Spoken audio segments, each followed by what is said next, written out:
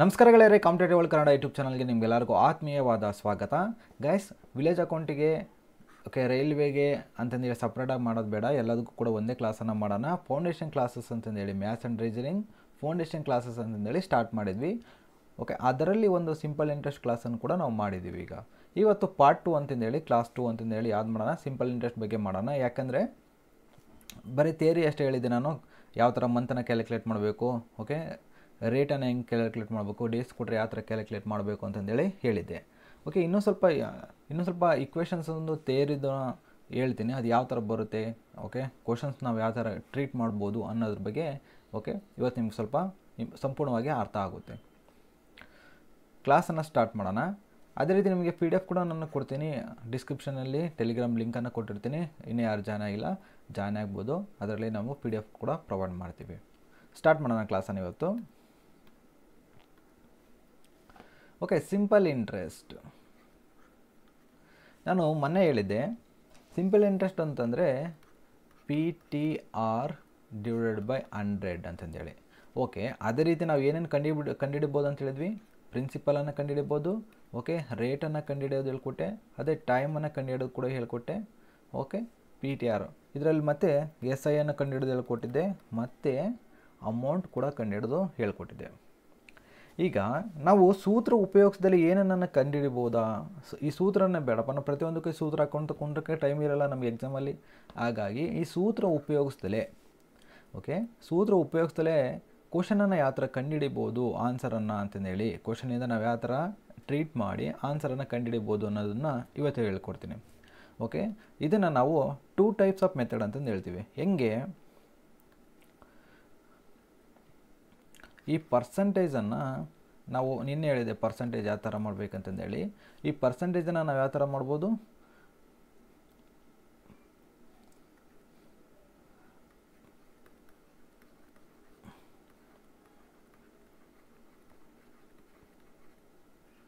Okay ಭಿನ್ನರಾಶಿ ರೂಪದಲ್ಲಿ ಬರೆದು ನಾವು ಅದನ್ನು ಕ್ವಶನಲ್ಲಿ ಆ್ಯಡ್ ಮಾಡಬೇಕು. ಟೈಮ್ ಕೊಟ್ಟಿದ್ರೆ ಆರು ಕೊಟ್ಟಿದ್ರೆ ಅಂತಂದೇಳಿ ಹೇಳಿದ್ದೆ ನಾನು.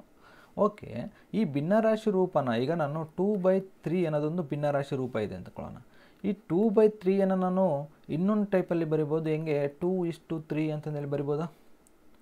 ಓಕೆ, ಈ ಭಿನ್ನರಾಶಿ ರೂಪವನ್ನು ನಾನು ರೇಷ ಕನ್ವರ್ಟ್ ಮಾಡ್ಬೋದಾ? ಮಾಡ್ಬೋದಾ? ಹೌದು, ಮಾಡ್ಬೋದು. ಈ ಭಿನ್ನರಾಶಿಯನ್ನು ಕೊಟ್ಟಿರೋದನ್ನು ನಾನು ರೇಷ ಕನ್ವರ್ಟ್ ಮಾಡ್ತಾ ಇದ್ದೀನಿ. ಈಗ ಇದೇ ಫೈ ಡಿವೈಡ್ ಬೈ ತ್ರೀ ಅನ್ನೋದನ್ನು ನಾನು ರೇಷದಲ್ಲಿ ಹೆಂಗೆ ಬರಿಬೋದು? ಫೈ ಇಷ್ಟು ತ್ರೀ ಅಂತಂದೇಳಿ ಬರಿಬೋದು. ಫೈ ಇಷ್ಟು ತ್ರೀ ಅಂತಂದೇಳಿ ಬರಿಬೋದು. ಅಲ್ವಾ? ನಾನು ಏನು ಚೇಂಜಸ್ ಮಾಡಿಲ್ಲ, ನಿನ್ನೆ ಪರ್ಸೆಂಟೇಜನ್ನು ನಾನು ಭಿನ್ನರಾಶಿ, ಸರಳ ರೂಪಕ್ಕೆ ಭಿನ್ನರಾಶಿಗೆ, ಅದೇ ಟೈಮನ್ನು ನಾನು ಭಿನ್ನರಾಶಿ ರೂಪಕ್ಕೆ ಆ ಥರ ಮಾಡೋದು ಅಂತ ಹೇಳ್ಕೊಟ್ಟಿದ್ದೆ. ಅದೇ ಭಿನ್ನರಾಶಿಯನ್ನು ನಾನು ಇನ್ನೊಂದು ಮುಂದೆ ಮೂವ್ ಮಾಡ್ತಾ ಇದ್ದೀನಿ ಏನಂತ ರೇಷೋದಲ್ಲಿ ಬರೆಯೋ ರೀತಿಯಾಗಿ. ಕೊಟ್ಟಿರೋ ಭಿನ್ನರಾಶಿಯನ್ನು ರೇಷೋದಲ್ಲಿ ಬರೆಯೋ ರೀತಿಯಾಗಿ. ಸರ್, ಇದನ್ನ ಯಾಕೆ ನಾನು ಮಾಡ್ತಿರೋ ಸಿಂಪಲ್ ಇಂಟ್ರೆಸ್ಟು ನೀವು ರೇಷನ್ನು ತರ್ತಿದ್ದೀರಾ, ಇಲ್ಲಿ ಭಿನ್ನರಾಶಿಯನ್ನು ತರ್ತಿದ್ದೀರಾ ಅಂತಂದು ಹೇಳ್ತಿದ್ದೀರಾ ಅಂದ್ಕೊಳ್ಬೋದು ಓಕೆ ಏನಕ್ಕೆ ಅಂತಂದರೆ ಇಲ್ಲಿ ಒಂದು ನಮಗೆ ಸೂತ್ರ ಬಳಸದೆ ನಾವು ಕ್ವಶನ್ಸನ್ನು ಟ್ರೀಟ್ ಮಾಡೋದು ಹಾಗಾಗಿ ಈ ಮೆಥಡ್ಸ್ಗಳು ನಮ್ಗೆ ಸ್ವಲ್ಪ ಗೊತ್ತಿರಬೇಕು. ಓಕೆ, ಏನು? ಈಗ ಪ್ರಿನ್ಸಿಪಲನ್ನು ನಾನು ಹಂಡ್ರೆಡ್ ಪರ್ಸೆಂಟ್ ಅಂತ ಹೇಳ್ತೀನಿ. ಓಕೆ ನಾನು ಇನ್ನೇ ಹೇಳ್ಕೊಟ್ಟಿದ್ದೆ ಹಂಡ್ರೆಡ್ ಪರ್ಸೆಂಟ್ ಈಕ್ವಲ್ಸ್ ಟು ಯಾವುದಕ್ಕೆ ಸಮ ಆಗಿರುತ್ತೆ? ಒಂದಕ್ಕೆ ಸಮ ಆಗಿರುತ್ತೆ ಅಂತ ಹೇಳ್ಕೊಟ್ಟಿದ್ದೆ. ಅದೇ ರೀತಿ ರೇಟನ್ನು ಕೊಡ್ತಿದ್ದೀನಿ, ಈಗ ನಾನು ರೇಟ್ ಎಷ್ಟು ಕೊಟ್ಟಿದ್ದೀನಿ? ಟ್ವೆಲ್ ಪಾಯಿಂಟ್ ಫೈವ್ ಪರ್ಸೆಂಟ್ ಅಂತ ಅಂದೇಳಿ ಕೊಡ್ತಿದ್ದೀನಿ. ಓಕೆ ಈ ಟ್ವೆಲ್ ಪಾಯಿಂಟ್ ಫೈವ್ ಪರ್ಸೆಂಟ್ ಏನು ಅಂತಂದು ಕೂಡ ನಿನ್ನ ನಿನ್ನೆ ಹೇಳಿದ್ದೀನಿ, ಏನು ಒನ್ ಬೈ ಏಯ್ಟ್ ಬರುತ್ತೆ ಅಂತಂದೇಳಿ ಓಕೆ ಈಗ ಒಂದು ಟೈಮನ್ನು ಕೊಡ್ತಿದ್ದೀನಿ ತ್ರೀ ಇಯರ್ಸ್ ಅಂತಂದೇಳಿ ಓಕೆ ನಮಗೆ ಬೇಕಾಗಿರೋದೆಲ್ಲದನ್ನು ಕೊಟ್ಟಿದ್ದೀನಿ. ಪ್ರಿನ್ಸಿಪಲ್ನು ಕೊಟ್ಟಿದ್ದೀನಿ. ಪ್ರಿನ್ಸಿಪಲ್ ಏನು ಹೇಳ್ತಿದ್ದೆ? ಪ್ರಿನ್ಸಿಪಲ್ ಅಂದರೆ ಅಸುಲ್ ತಾನೆ. ಅಸಲನ್ನು ಹಂಡ್ರೆಡ್ ಪರ್ಸೆಂಟ್ ಅಂತ ಹೇಳ್ತಿದ್ದೀನಿ. Rate twelve point five percent ಅಂತ ಹೇಳ್ತಿದ್ದೀನಿ. ಟೈಮನ್ನು ತ್ರೀ ಇಯರ್ಸ್ ಅಂತ ಹೇಳ್ತಿದ್ದೀನಿ. ಈಗ ನಾನು ಕಂಡುಹಿಡಿಬೇಕಾಗಿರೋದು ಸಿಂಪಲ್ ಇಂಟ್ರೆಸ್ಟ್ ಎಷ್ಟು ಬರುತ್ತೆ? ಅದೇ ಅಮೌಂಟ್ ಎಷ್ಟು ಬರುತ್ತೆ? ಅಮೌಂಟ್ ಅಂದರೆ ಏನು ಹೇಳಿ? ಪ್ರಿನ್ಸಿಪಲ್ ಪ್ಲಸ್ ಸಿಂಪಲ್ ಇಂಟ್ರೆಸ್ಟ್ ಆಗಿರುತ್ತೆ. ಓಕೆ ಎಷ್ಟು ಬರುತ್ತೆ ಅಂತಂದೇಳಿ ಕಂಡುಹಿಡಬೇಕು. ಓಕೆ, ನನಗೆ ಕೊಟ್ಟಿರೋದ್ರ ಪರ್, ಪರ್ಸೆಂಟೇಜ್ನಲ್ಲಿ ಕೊಟ್ಬಿಡ್ದೆ ನನಗೆ ಇವಾಗೆಲ್ಲದನ್ನು. ನಾನು ಹೆಂಗೆ ಕಂಡುಹಿಡಿಬೇಕು? ಅಲ್ವಾ? ಇವಾಗ ಈ ಥರ ಸಿಚುವೇಶನ್ಸ್ ಬಂದಾಗ, ಓಕೆ, ಏನು ಮಾಡಬೇಕು? ಈಗ ನನಗೆ ಕೊಟ್ಟಿರೋದೇನು ಒನ್ ಪಾಯಿಂಟ್ ಏಯ್ಟನ್ನು ಕೊಟ್ಟಿದ್ದಾನೆ, ರೇಟನ್ನು ಕೊಟ್ಟಿದ್ದಾನೆ, ಇಲ್ಲಿ ಪ್ರಿನ್ಸಿಪಲನ್ನು ಕೊಡ್ತೀನಿ. ನನಗೆ ಪಿ ಟಿ ಆರ್ ಮೂಲಕ ಹಾಕಿದ್ರೂ ಕೂಡ ನಮಗೆ ಏನು ಬರುತ್ತೆ? One into one by eight into three ಅಂತಂದೇಳಿ ಬರುತ್ತೆ. ಅಲ್ವಾ? ಇದು ಪ್ರಿನ್ಸಿಪಾಲ್ ಇದೆ, ಇದು ರೇಟ್ ಇದೆ, ಇದು ಇಯರ್ ಕೊಟ್ಟಿದ್ದಾನೆ ಇದನ್ನು ನಾವು ಕ್ಯಾಲ್ಕುಲೇಷನ್ ಮಾಡಿದಾಗ ಏನು ಬಂತು? ತ್ರೀ ಬೈ ಏಯ್ಟ್ ಅಂತಂದೇಳಿ ಭಿನ್ನ ರಾಶಿ ಬಂತು. ಅಲ್ವಾ? ಈ ಭಿನ್ನ ರಾಶಿನ ನಾನು ಇನ್ನೊಂದು ಟೈಪಲ್ಲಿ ಬರಿಬೋದು ಅಂತಂದು ಹೇಳಿದೆ ಏನಂತಂದೇಳಿ ತ್ರೀ ಇಷ್ಟು ಏಯ್ಟ್ ಅಂತಂದೇಳಿ ರೇಷೋದಲ್ಲಿ ಬರಿಬೋದು ಅಂತಂದು ಕೂಡ ಹೇಳಿದೆ. ಅಲ್ವಾ? ಈಗ ನಿಮಗೆ ಇದು ಆನ್ಸರ್ ಬಂದಿದ್ದೆಲ್ಲ, ಈ ಆನ್ಸರ್ ಏನೇನು, ಇದರಲ್ಲಿ ಏನೇನು ಅಡಕವಾಗಿದೆ ಅಂತಂದೇಳಿ ಗೊತ್ತಾಗಬೇಕಲ್ವಾ? ಓಕೆ, ಈ ತ್ರೀ ಅನ್ನೋದು ನಮಗೇನು ಮೂರರ ಘಾತ, ಎಂಟರ ಘಾತ ಮೂರು ಅಂತಂದೇಳಿ ಬಂದಿದೆ. ಈ ತ್ರೀ ಏನು ಹಂಗಾದರೆ? ಇದು ಏಟ್ ಏನು? ಅರ್ಥ ಆಗಬೇಕಲ್ವಾ? ತ್ರೀ ಅಂದರೆ ಏನು? ಏಟ್ ಅಂದರೆ ಏನು? ನಾನು ತ್ರೀ ಏನು ಏಟನ್ನು ನಾನು ರೇಷದಲ್ಲಿ ಮತ್ತು ಕೆಳಗಡೆ ಮತ್ತೆ ಸ್ವಲ್ಪ ಬಿಡಿಸಿ ಬರೆದಿದ್ದೀನಿ. ಈ ತ್ರೀ ಏನು ಅಂದರೆ ಇಂಟ್ರೆಸ್ಟ್ ಆಗಿರುತ್ತೆ. ಏಟ್ ಅನ್ನೋದು ಏನಾಗಿರುತ್ತೆ? Principal okay. ಸರ್, ಇದೊಂಥರ ವಿಚಿತ್ರ ಅನಿಸ್ಬೋದು ನಿಮಗೆ. ಯಾಕಂದರೆ ಈ ಫಾರ್ಮೆಟಲ್ಲಿ ಕಲಿತರೆ ನಿಮ್ಗೆ ಸೂತ್ರ ಅವಶ್ಯಕತೆ ಇರೋದಿಲ್ಲ. ಓಕೆ ನಾನು ಕ್ವಶನ್ ಹಾಕಿ ಕೂಡ ತೋರಿಸ್ತೇನೆ ನಿಮ್ಗೆ ಯಾವ ಥರ ಮಾಡಬೇಕು ಅಂತಂದೇಳಿ ಫಸ್ಟ್ ಇದನ್ನು ಸ್ವಲ್ಪ ಬೇಸಿಕಾಗಿ ಬರ್ಕೊಂಡಾರೆ ಕಲ್ತ್ಕೊಳ್ಳಿ. ಈಗ ತ್ರೀ ಇಷ್ಟು ಏಯ್ಟ್ ಅಂತಂದು ಹೇಳಿದೆ ನಾನು ರೇಷದಲ್ಲಿ ಬರೆದೆ ತ್ರೀ ಅನ್ನೋದು ಇಂಟ್ರೆಸ್ಟ್ ಅಂದೆ ಏಯ್ಟ್ ಅನ್ನೋದು ಪ್ರಿನ್ಸಿಪಲ್ ಅಂತಂದು ಹೇಳಿದೆ. ಓಕೆ ಈಗ ನಮಗೆ ಸಿಂಪಲ್ ಇಂಟ್ರೆಸ್ಟ್ ಏನು ಬಂತು? ಓಕೆ ನನಗೆ ಸಿಂಪಲ್ ಇಂಟ್ರೆಸ್ಟ್ ಏನು ಬಂದಿದೆ ನೋಡಿ. ತ್ರೀ ಬೈ ಏಯ್ಟ್ ಅನ್ನೋದು ಸಿಂಪಲ್ ಇಂಟ್ರೆಸ್ಟ್ ಬಂತು. ಎಂಟಕ್ಕೆ ಈ ಪ್ರಿನ್ಸಿಪಲ್ಗೆ ಎಷ್ಟು ರೇ ಎಷ್ಟು ಇಂಟ್ರೆಸ್ಟ್ ಕೊಡಬೇಕು? ತ್ರೀ ಅನ್ನೋದನ್ನ ಕೊಡಬೇಕು. ಈಗ ಅಮೌಂಟ್ ಕಂಡಿಡಿಯಪ್ಪ ಅಂತ ಹೇಳಿದೆ ನಾನು. ಈಗ ಅಮೌಂಟ್ ಕಡೆ ಅಂತ ಹೇಳಿ ಕಂಡಿಡ್ಬೇಕಂದ್ರೆ ಏನು ಬೇಕು? ಪ್ರಿನ್ಸಿಪಲ್ ಪ್ಲಸ್ ಸಿಂಪಲ್ ಇಂಟ್ರೆಸ್ಟ್ ಬೇಕು. ಇಲ್ಲಿ ಪ್ರಿನ್ಸಿಪಾಲೂ ಇದೆ, ಇಲ್ಲಿ ಸಿಂಪಲ್ ಇಂಟ್ರೆಸ್ಟ್ ಇದೆ. ಹಾಗಾದರೆ ಇವೆರಡನ್ನು ಕೂಡಬೇಕಲ್ವಾ? ಅಮೌಂಟ್ ಬರಬೇಕಂದ್ರೆ ಪ್ರಿನ್ಸಿಪಲ್ ಮತ್ತು ಇಂಟ್ರೆಸ್ಟನ್ನು ಕೊಡಬೇಕು. ಹಂಗಾರೆ ಎಂಟು ಪ್ಲಸ್ ಮೂರು ಎಷ್ಟಾಯ್ತು? ಹನ್ನೊಂದು ಹನ್ನೊಂದು ಬೈ ಎಂಟು ಅನ್ನೋದು ಅಮೌಂಟ್ ಆಗಿರುತ್ತೆ. ಅರ್ಥ ಆಯ್ತಲ್ವಾ? ಹನ್ನೊಂದು ಬೈ ಎಂಟು ಅನ್ನೋದು ಅಮೌಂಟ್ ಆಗಿರುತ್ತೆ. ಅರ್ಥ ಆಗ್ತಿದೆ ಅನ್ಕೊತಿದ್ದೀನಿ. ಈ ಎಂಟನೇ ಏನಕ್ಕೆ ತೊಗೊಂಡಿದ್ದೀನಿ ಅಂದರೆ ಪ್ರಿನ್ಸಿಪಲ್ ಮೇಲೆ ಬಂದಿರೋದು ಏನಿದು? ಅಮೌಂಟು ಇದು ಕೂಡ ಪ್ರಿನ್ಸಿಪಲ್ ಬಂದ್, ಮೇಲೆ ಬಂದಿರೋದು ಇಂಟ್ರೆಸ್ಟು ಇದು ಇಂಟ್ರೆಸ್ಟು ಇದು ಅಮೌಂಟು ಅಮೌಂಟ್ನಲ್ಲಿ ಏನೇನಿದೆ ಅಂತಂದೇಳಿ ಕೂಡ ಹೇಳಿದ್ದೀನಿ. ಇಂಟ್ರೆಸ್ಟ್ ಪ್ಲಸ್ ಪ್ರಿನ್ಸಿಪಲ್ ಇರುತ್ತೆ. ಇದರಲ್ಲಿ ಜಸ್ಟ್ ಇಂಟ್ರೆಸ್ಟ್ ಅಷ್ಟೇ ಇದೆ. ಇದು ಮೂರು ವರ್ಷಕ್ಕೆ ಬಂದರೆ ಇಂಟ್ರೆಸ್ಟು ಅರ್ಥ ಆಯ್ತಲ್ವಾ? ಓಕೆ ನೆಕ್ಸ್ಟು ಇದನ್ನು ಇನ್ನೊಂದು ಥರ ಬರೆಯೋಣ. ಓಕೆ, ಇನ್ನೊಂದು ಮಾಡೋಣ ಇದನ್ನು, ನಿಮಗೆ ಅರ್ಥ ಆಗಲಿ ಅಂತ. ಈಗ ನಾನು ಪ್ರಿನ್ಸಿಪಲನ್ನು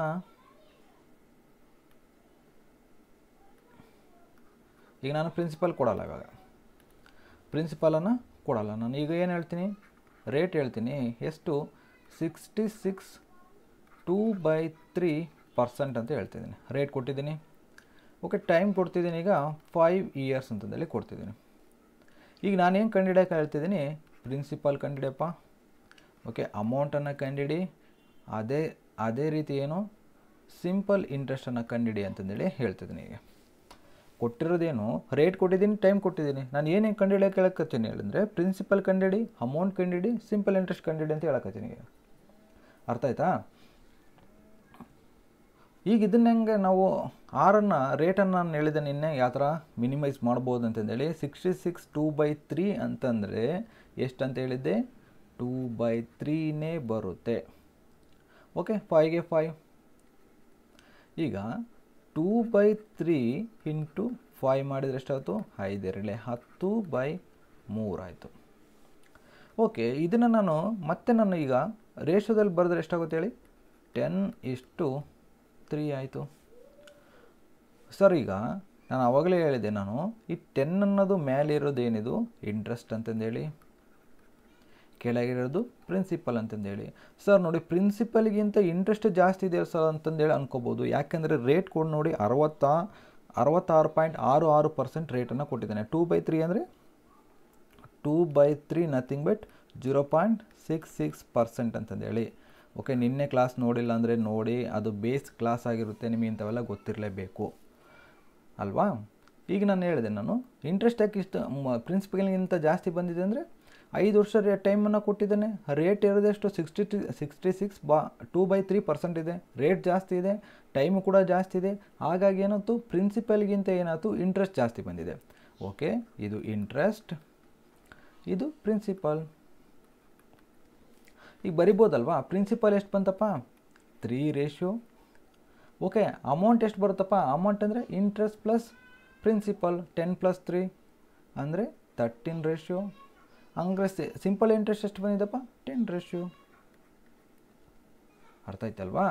ಟೆನ್ ರೇಷಿಯೋ ಸಿಂಪಲ್ ಇಂಟ್ರೆಸ್ಟ್ ಬಂದಿದೆ. ಅಮೌಂಟ್ ಎಷ್ಟು ಬಂದಿದೆ? ತರ್ಟೀನ್ ರೇಷಿಯೋ ಪ್ರಿನ್ಸಿಪಲ್ ತ್ರೀ ರೇಷಿಯೋದಲ್ಲಿದೆ ಓಕೆ? ನಿಮಗೆ ಗೊತ್ತಾಗ್ತಿದೆ ಅಲ್ವಾ? ನಾನು ಏನಕ್ಕೆ ಈ ಥರ ಮಾಡ್ತಿದ್ದೀನಿ ಅಂತಂದರೆ, ಈ ಕ್ವಶನ್ಸನ್ನು ಸೂತ್ರ ಉಪಯೋಗಿಸ್ತದಲ್ಲೇ ಬರೆಯೋದಕ್ಕೆ, ಓಕೆ ಈಸಿ ಆಗಲಿ ಅಂತಂದೇಳಿ. ಓಕೆ ಕ್ವಶನ್ ಆಗ್ತಾ ನಿಮಗೆ ಈಸಿಯಾಗಿ ಅರ್ಥ ಆಗುತ್ತೆ. ಈ ಬೇಸನ್ನ ಅರ್ಥ ಮಾಡ್ಕೊಳ್ಳಿ. ನಾನು ಏನು ಒಳಗೆ ಕೊಡ್ತಿ, ಹೊರಟಿದ್ದೀನಿ ಅಂತಂದೇಳಿ.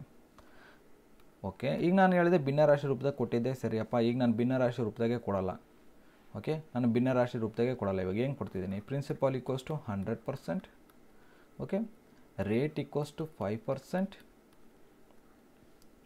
okay time equals to ಎಷ್ಟು ಟ್ವೆಂಟಿ ಫೋರ್ ಇಯರ್ ಅಂತಂದೇಳಿ ಕೊಡ್ತೀನಿ.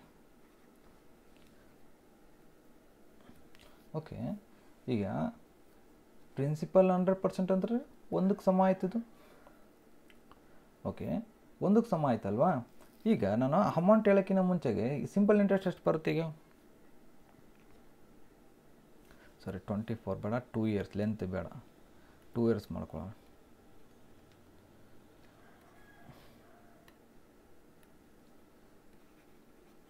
ಓಕೆ ಟೂ ಇಯರ್ ಮಾಡ್ಕೊಳ್ಳೋಣ. ಈಗ rate into time five into two equals to ten percent ಅಲ್ವಾ? ಟೆನ್ ಪರ್ಸೆಂಟ್ ಬಂತು. ನಾನು ಆವಾಗಲೇ ಹೇಳಿದೆ ಭಿನ್ನರಾಶಿ ರೂಪದಲ್ಲಿ ಬರ್ತಿತ್ತು ರೇಷದಲ್ಲಿ ಕನ್ವರ್ಟ್ ಮಾಡ್ತಿದ್ದೆ, ಹೇಳ್ತಿದ್ದೆ, ಓಕೆ, ಅದು ಇದು ಅಂತಂದೇಳಿ. ಈಗ ಬಂದಿರೋದೇನಿದು ಹಾಂ? ಟೆನ್ ಅನ್ನೋದೇನು? ಟೆನ್ ಅನ್ನೋದೇ ಸಿಂಪಲ್ ಇಂಟ್ರೆಸ್ಟ್ ಆಗಿರುತ್ತೆ.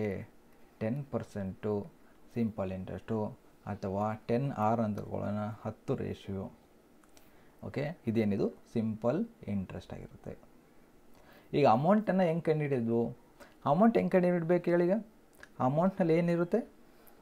ಪ್ರಿನ್ಸಿಪಾಲ್ ಪ್ಲಸ್ ಇಂಟ್ರೆಸ್ಟ್ ಇರುತ್ತೆ. ಇಲ್ಲಿ ಸಿಂಪಲ್ ಇಂಟ್ರೆಸ್ಟ್ ಎಷ್ಟು ಬಂದಿದೆ? ಟೆನ್ ಬಂದಿದೆ. ಇಲ್ಲಿ ಪ್ರಿನ್ಸಿಪಾಲ್ ಎಷ್ಟಿದೆ? ಹಂಡ್ರೆಡ್ ಇದೆ. Okay hundred plus ten equals to one ten percent or one ten ratio ಅಲ್ವಾ? ಅರ್ಥ ಆಗ್ತಿದೆ ಅನ್ಕೊತಿದ್ದೀನಿ. ಅಮೌಂಟ್ ಏನಾಯಿತು? ಟೆನ್ ಪ್ಲಸ್ ಅಮೌಂಟ್ ಏನದು ಹಂಡ್ರೆಡ್ ಪ್ಲಸ್ ಟೆನ್ ಯಾಕಂದರೆ ನಾನು ಪ್ರಿನ್ಸಿಪಲ್ ಹಂಡ್ರೆಡ್ ಪರ್ಸೆಂಟ್ ಕೊಟ್ಟಿದ್ದೀನಿ. ಓಕೆ ಇಂಟ್ರೆಸ್ಟ್ ಬಂದಿರೋ ಟೆನ್ ಪರ್ಸೆಂಟ್ ಇದೆ ಅವೆರಡನ್ನು ಕೊಟ್ಟರೆ ಒನ್ ಟೆನ್ ಪರ್ಸೆಂಟ್ ಆಯಿತು. ಸಿಂಪಲ್ ಏನಿತ್ತು ಟೆನ್ ಪರ್ಸೆಂಟು ಅಥವಾ ಟೆನ್ ರೇಷು ಅಂತ ಹೇಳ್ತಿದ್ದೀನಿ ಅಲ್ವಾ? ಇದನ್ನ ಏನಕ್ಕೆ ಹೇಳ್ತಿದ್ದೀವಪ್ಪ ಅಂದರೆ ಒಂದು ಕ್ವಶನ್ ತೊಗೊಳೋಣ ಇವಾಗ. ಓಕೆ ತಲೆ ಹುಳ ಬಿಟ್ಟಂಗೆ ಆಗಿರ್ಬೋದು ಅನಿಸುತ್ತೆ. ಒಂದು ಕ್ವಶನ್ ತೊಗೊಳೋಣ ಟೈಮ್ ಎಷ್ಟು ಕೊಟ್ಟಿದ್ದಾನೆ? ಟೂ ಇಯರ್ ಕೊಟ್ಟಿದ್ದಾನೆ. ಓಕೆ ರೇಟ್ ಎಷ್ಟು ಕೊಟ್ಟಿದ್ದಾನೆ ಈಗ? Fourteen point two eight percentage ಕೊಟ್ಟಿದ್ದಾನೆ. ಓಕೆ ರೇಟ್ ಎಷ್ಟು ಕೊಟ್ಟಿದ್ದಾನೆ? Fourteen point two eight percent ಕೊಟ್ಟಿದ್ದಾನೆ. ಈಗ ಸಿಂಪಲ್ ಇಂಟ್ರೆಸ್ಟ್ ಕೊಟ್ಟಿದ್ದಾನೆ ಎಷ್ಟು? ತ್ರೀ ತೌಸಂಡ್ ಸಿಕ್ಸ್ ಹಂಡ್ರೆಡನ್ನು ಕೊಟ್ಟಿದ್ದಾನೆ. ನಮಗೆ ಏನು ಕೇಳ್ತಿದ್ದಾನೆ ಇವಾಗ? ಪ್ರಿನ್ಸಿಪಲನ್ನು ಕಂಡುಹಿಡಿರಿ ಅಂತ ಹೇಳ್ತಾನೆ. ಓಕೆ ನಿಮಗೆ ಗೊತ್ತಿದೆ ಪ್ರಿನ್ಸಿಪಲ್ ಕಂಡುಹಿಡಿಬೇಕಂತಂದರೆ ಓಕೆ ಪ್ರಿನ್ಸಿಪಲ್ ಎಷ್ಟು ಅಂತಂದರೆ S I into hundred divided by ಏನಂತ ಹಾಕ್ತೀರಾ? ಕೊಟ್ಟಿರೋ ಟೈಮು ಇಂಟು ಆರ್ ಹಾಕ್ತೀರಾ? ಓಕೆ ಎಲ್ಲ ಟೈಮಲ್ಲಿ ಇದನ್ನು ಉಪಯೋಗಿಸೋದು ಅವಶ್ಯಕತೆ ಇಲ್ಲ. ಅದಕ್ಕೋಸ್ಕರ ಆ ಫಾರ್ಮೆಟನ್ನು ಹೇಳ್ತಿದ್ದೀನಿ. ಅದು ಈಸಿಯಾಗಿರಲಿ ಅಂತಂದೇಳಿ. ಈಗ ಕೊಟ್ಟಿರೋದೇನೋ one fourteen by two eight percent ಅಂದರೆ ಒನ್ ಬೈ ಸೆವೆನ್ ಇದು ಟೂ ಇದೆ. One by seven into two ಏನಾಯ್ತಿದು two by seven ಆಯಿತು. ಈ ಸೆವೆನ್ ಅನ್ನೋದು ಪ್ರಿನ್ಸಿಪಲ್ ಅಂತ ಹೇಳಿದೆ ಟೂ ಅನ್ನೋದು ಇಂಟ್ರೆಸ್ಟ್ ಅಂತ ಹೇಳಿದೆ. ಇಲ್ಲಿ ಇಂಟ್ರೆಸ್ಟ್ ಎಷ್ಟು ಬಂದಿದೆ? ತ್ರೀ ತೌಸಂಡ್ ಸಿಕ್ಸ್ ಹಂಡ್ರೆಡ್ ಹಂಗಾದರೆ ಟೂ ಅನ್ನೋದು ಯಾವುದಕ್ಕೆ ಸಮ ಆಗ್ತಿದೆ?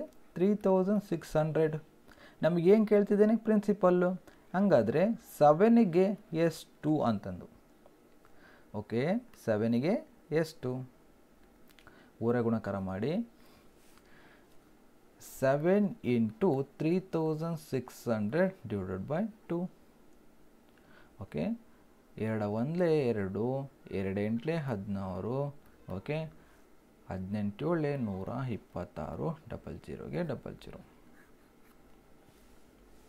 ಓಕೆ ಅರ್ಥ ಆಯ್ತಿದಲ್ವಾ?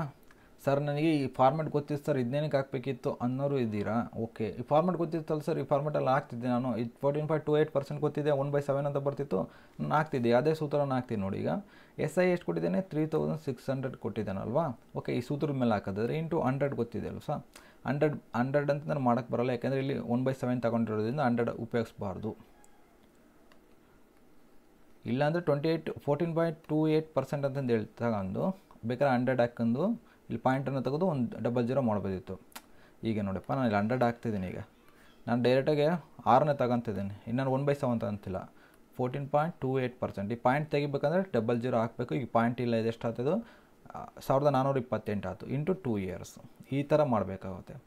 ಸರ್, ಇಲ್ಲ, ನಾನು ನಾ ನಿಮ್ಮ ಸೂತ್ರನ ಹಾಕ್ತಿದ್ದೀನಿ. ನಿಮ್ಮ ಫಾರ್ಮೆಟಲ್ಲೇ ರೇಟನ್ನು ಹಾಕ್ತೀನಿ ಅಂದರೆ ತ್ರೀ ತೌಸಂಡ್ ಸಿಕ್ಸ್ ಹಂಡ್ರೆಡ್ ಆಯಿತಾ?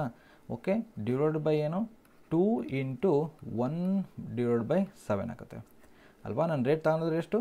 ಒನ್ ಬೈ ಸೆವೆನ್ ಇದನ್ನು ನಾನು ಮತ್ತೆ ಹೆಂಗೆ ಮಾಡ್ಬೋದು? ತ್ರೀ ತೌಸಂಡ್ ಸಿಕ್ಸ್ ಹಂಡ್ರೆಡ್ ಈ ಸೆವೆನ್ ಏನಾಗುತ್ತೆ ಹೇಳಿ, ಯಾವಾಗಲಾದರೂ ಕೆಳಗಡೆ ಈ ಥರ two into one by seven ಬಂತು ಅಂತಂದರೆ, ಅಥವಾ ಒನ್ ಬೈ ಏನಾದರೂ ಬಂದು ಅಂತಂದರೆ ಬೈ ಅಂತಂದು ಏನಾದ್ರು ಬಂತಂದರೆ ಇದು ಏನಾಗುತ್ತೆ? ಈ ಪಾರ್ಟು ರಿವರ್ಸ್ ಆಗಿ ಮ್ಯಾಗಳೆ ಹೋಗುತ್ತೆ.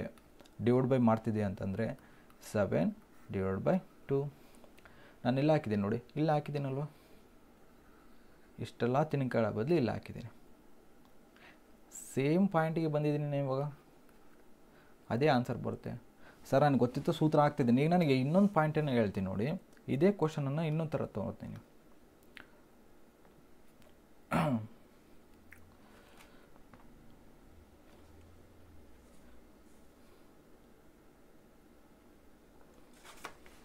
ಓಕೆ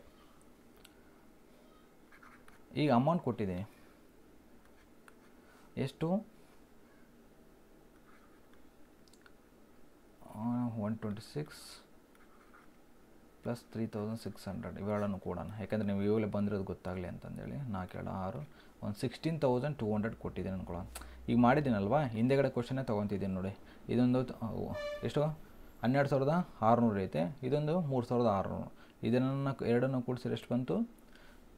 ಹದಿನಾರು ಸಾವಿರದ ಆರುನೂರು ಅಮೌಂಟ್ ಬಂದಿದೆ ಅನ್ಕೊಳ್ಳೋಣ. ಈಗ ನಮಗೇನು ಕೊಟ್ಟಿಲ್ಲ ನಮಗೆ? ಡೈರೆಕ್ಟಾಗಿ ಏನು ಕೊಟ್ಟಿದ್ದಾನೆ? ಅಮೌಂಟ್ ಕೊಟ್ಬಿಟ್ಟಿದ್ದಾನೆ. ಹದಿನಾರು ಸಾವಿರದ ಇನ್ನೂರು. ಓಕೆ ಹದಿನಾರು ಸಾವಿರದ ಇನ್ನೂರು ಅಮೌಂಟ್ ಕೊಟ್ಟಿದ್ದಾನೆ. ಓಕೆ ರೇಟ್ ಎಷ್ಟು ಕೊಟ್ಟಿದ್ದಾನೆ?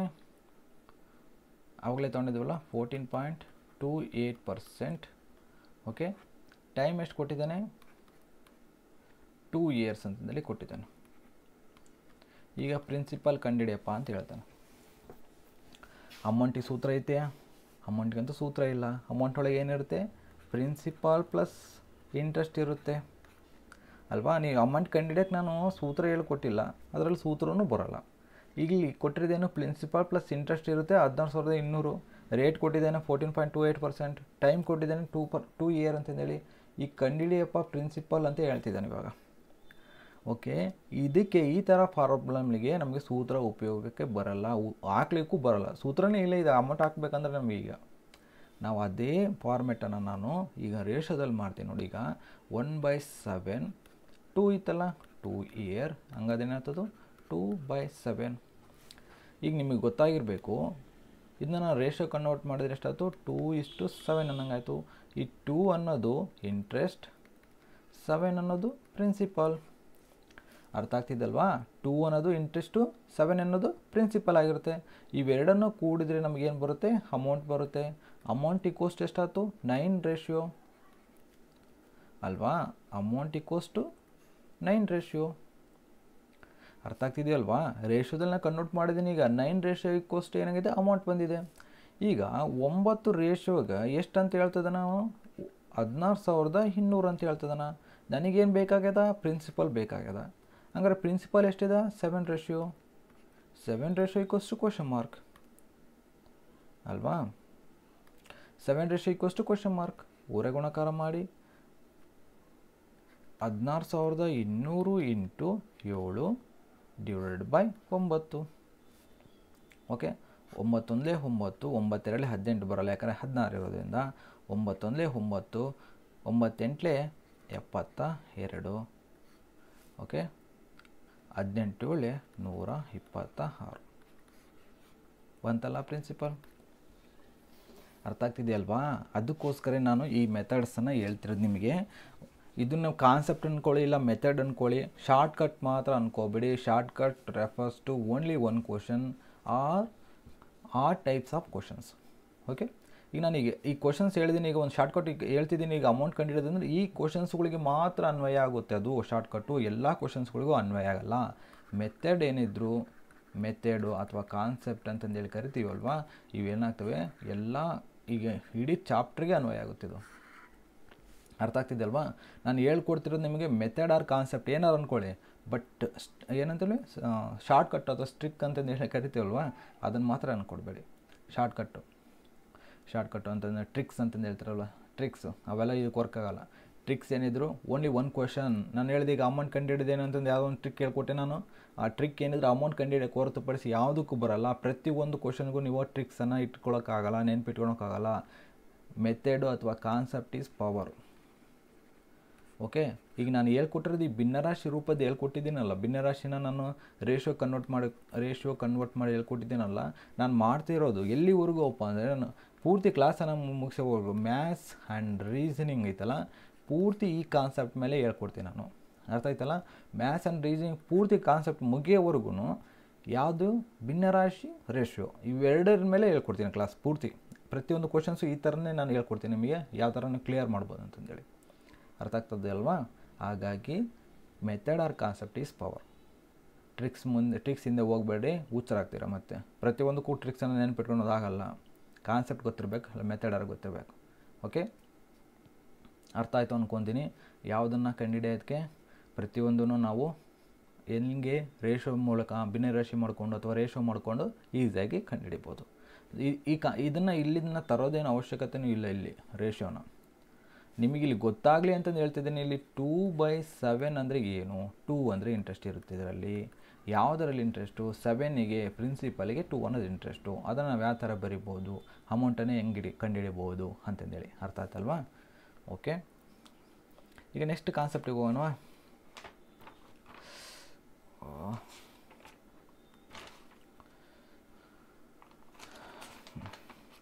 Okay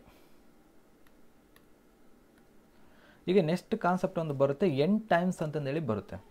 Principal equals to N times ಅಂತಂದೇಳಿ. ಎಲ್ಲೋಯ್ತಿದ್ದು ಓಕೆ ಪ್ರಿನ್ಸಿಪಾಲ್ ಅಪ್ಪ ಪ್ರಿನ್ಸಿಪಾಲ್ ಅಂದರೆ ಗೊತ್ತಿಲ್ಲದವ್ರು ಮತ್ತು ಅಸಲು ಅಂತಂದೇಳಿ ಬರ್ಕೊಡ್ರಲ್ಲಿ ಯಾರು ಬರ್ಕೊತಿರೋರು? ಅಸಲು. ಇದು ಏನಾಗುತ್ತೆ ಗೊತ್ತಾ ನಿಮಗೆ? ನಾನು ಓದ್ ಕ್ಲಾಸಲ್ಲಿ ಹೇಳಿದ್ದೆ ನನಗೆ ಕನ್ವರ್ಟ್ ಇಂಟು ನಮ್ಮ ಕ ಇಂಗ್ಲೀಷ್ ಟು ಕನ್ನಡ ಯಾಕಂದರೆ ಕ್ವಶನ್ಸ್ ಎಲ್ಲ ತೆಗೆದು ಇಂಗ್ಲೀಷಲ್ಲಿ ತೆಗಿತಾ ಇದ್ದಾರೆ. ಈಗ ಇಂಗ್ಲೀಷ್ಲಿಂದ ಕನ್ನಡಕ್ಕೆ ಟ್ರಾನ್ಸ್ಲೇಟ್ ಆಗಬೇಕಾದ್ರೆ ಈಗ ಅಮೌಂಟ್ ಅಂತಲೂ ಕೊಟ್ಟಿರ್ತಾರೆ ನೋಡಿ. ಅಮೌಂಟ್ ಅನ್ನೋದು ಮೊತ್ತ ಅಂತ ಬರುತ್ತೆ. ಅಲ್ಲಿ ಕನ್ನಡದಾಗೆ ಮೊತ್ತ ಅಂತಲೇ ಕೊಟ್ಟಿರ್ತಾನೆ ಫಸ್ಟು ಅಸಲಿಗೆ ಮೊತ್ತ ಅಂತಲೇ ಹೇಳಿರ್ತಾನೆ. ಆಮೇಲೆ ಮೊತ್ತ ಕಂಡಿಡಿ ಅಂತಲೇ ಹೇಳ್ತಾನೆ. ಅಲ್ವಾ? ಕೊಟ್ಟಿರೋದು ಮೊತ್ತ ಅಂತ ಕೊಟ್ಟಿರ್ತಾನೆ ಅಸಲಿಗೆ. ಆಮೇಲೆ ಮೊತ್ತ ಕಂಡಿಡಿ ಅಂತಂದರೆ ನಿನಗೆ ಕನ್ಫ್ಯೂಷನ್ ಆಗುತ್ತೆ, ನನಗೆ ಏನು ಕಂಡುಹಿಡಿಬೇಕಂತ ಅರ್ಥ ಆಗ್ತಿದೆಯಲ್ವಾ ಹಾಗಾಗಿ ಸ್ವಲ್ಪನಾದ್ರು ಗೊತ್ತಿರಬೇಕು ಪ್ರಿನ್ಸಿಪಲ್ ನನಗೆ ಗೊತ್ತಾಗಲಿಲ್ಲ ಕ್ವಶನ್ ಅರ್ಥ ಆಗಲಿ ಅಂದರೆ ಅಟ್ಲೀಸ್ಟ್ ಇಂಗ್ಲೀಷ್ನಾಗಾರ ನೋಡೋಂಗಿರಬೇಕು. ಅದಕ್ಕೋಸ್ಕರ ಹೇಳ್ತಿದ್ದೀನಿ ನಾನು ನಿನಗೆ. Okay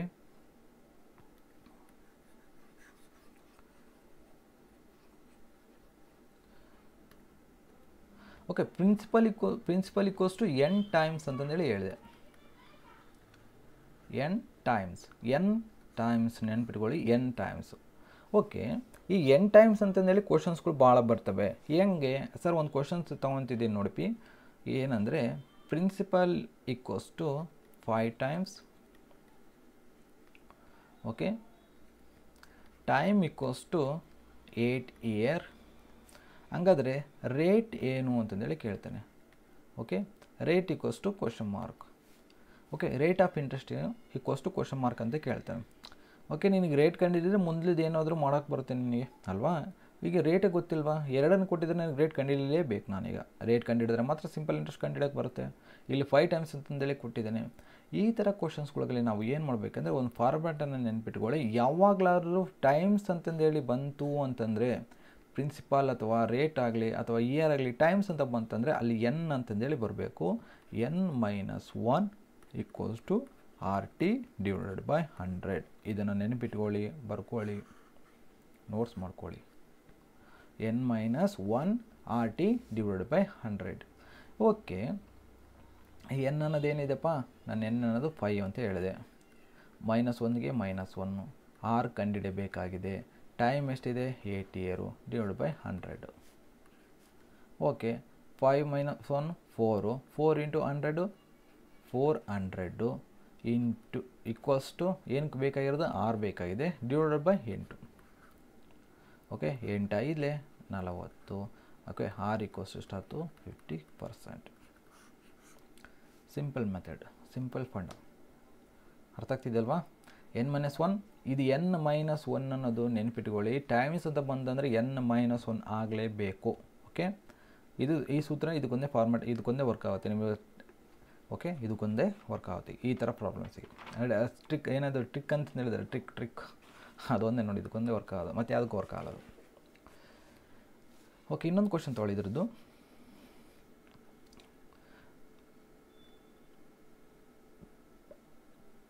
okay P equals to sixteen times ಈಗ ರೇಟ್ ಕೊಟ್ಟಿದ್ದಾನೆ. ರೇಟ್ ಎಷ್ಟು ಕೊಟ್ಟಿದ್ದಾನೆ? Twenty percent time ಕಂಡುಹಿಡಿಯೋಕೆ time equals to question mark ಈಗ ಏನು ಮಾಡಬೇಕು? Same N minus one equals to R T divide by hundred N ಅಂದರೆ? ಸಿಕ್ಸ್ಟೀನ್ ಮೈನಸ್ ಒನ್ ಆರ್ ಅಂದರೆ twenty percent into T divide by hundred okay hundred into fifteen ಯಾಕಂದರೆ ಇದು minus ಒಂದು ಆಗುತ್ತಲ್ವಾ? Fifteen into hundred divided by twenty equals to T ಇಪ್ಪತ್ತೈದಲೇ ನೂರು, ಹದಿನೈದೈದನೇ, ಹದಿನೈದೈದಲೇ ಎಪ್ಪತ್ತ ಐದು year time equals to seventy five year ಅಲ್ವಾ ಓಕೆ ಇದು ಕಾನ್ಸೆಪ್ಟನ್ನ ಇದನ್ನು ಟೈಪ್ಸ್ ಆಫ್ ಕ್ವಶನ್ಸಲ್ಲಿ ಟೈಪ್ ಟು ಅಂತಂದಿಲ್ಲ ಹಾಕೊಳ್ಳಿ ಟೈಪ್ ಟು ಕ್ವಶನ್ ಇದು. ಟೈಪ್ ಟು ಕ್ವಶನ್ಸ್ ನಾನು ಫಸ್ಟಿಗೆ ಹೇಳಿದ್ದು ಟೈಪ್ ಒನ್ ಇದು ಟೈಪ್ ಟು ಕ್ವಶನ್ ಓಕೆ ಇನ್ನೊಂದರಲ್ಲಿ, ಇದರಲ್ಲಿ ಇನ್ನೊಂದು ಥರ ಬರುತ್ತೆ. ಟೈಪ್ ತ್ರೀ ಅಂತ ಅಂದ್ಕೊಳ್ಳಿ, ಟೈಪ್ ತ್ರೀ. ಏನಂತಂದರೆ, ಈಗ ಫೈವ್ ಇಯರ್ ಇದೆ. ಫೈವ್ ಇಯರ್ ಲೆವೆನ್ ಟೈಮ್ಸ್ ಅಂತಂದೇಳಿ ಬಂತು. ಅದೇ ರೀತಿ question mark twenty five times okay ಈಗ ಏನು ಹೇಳ್ತಿದ್ದೀನಿ ಗೊತ್ತಾ? ಐದು ವರ್ಷಕ್ಕೆ ಒಂದು ಯಾವುದೋ ಪ್ರಿನ್ಸಿಪಲ್ ಏನಿರುತ್ತೆ. ಪ್ರಿನ್ಸಿಪಲ್ಲು ಓಕೆ ಪ್ರಿನ್ಸಿಪಲ್ಲು ಯಾವುದೋ ಒಂದು ಅಮೌಂಟ್ ಏನಾಗಿರುತ್ತೆ, ಅಸುಲು ಅನ್ನೋದು ಇರುತ್ತಲ್ಲಪ್ಪ ಅಮೌಂಟ್ ಅನ್ನೋಕ್ಕಿಂತ ಅಸುಲು ಅನ್ಕೊಳ್ಳೋಣ, ಅಸುಲು ಪ್ರಿನ್ಸಿಪಲ್ ಯಾವುದೋ ಒಂದು ಅಸುಲಪ್ಪ.